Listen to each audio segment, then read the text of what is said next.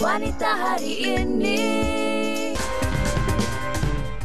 Bertempat di Borneo Rainforest Cafe Subang, Avon melancarkan produk haruman yang terbaharu, Instinct. Haruman menggoda dan eksotik ini menyingkap naluri sensual wanita supaya lebih berkeyakinan dan menawan. Uh, majlis pelancaran hari hari ini adalah bertujuan untuk um, to introduce our new uh, fragrance daripada Avon iaitu Instinct. Dan harapan kami uh, daripada pelancaran haruman ini adalah untuk uh, memenuhi uh, keinginan dan keperluan uh, wanita uh, di Malaysia yang menginginkan haruman yang boleh uh, suit her mood yeah? and uh, whatever feeling or mood that she has especially like uh, someone who is confident and uh, this sangat sensual yeah.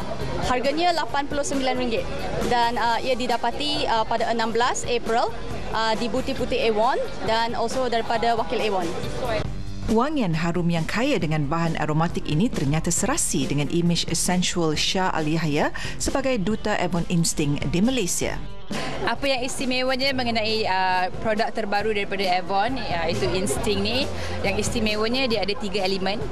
Uh, dia macam ada bau this uh, fruity, dia ada bau um, floral dan juga uh, woody macam kayu-kayuan. Jadi ketiga-tiga elemen ni dicampur dan yang paling specialnya ialah dia tahan lama.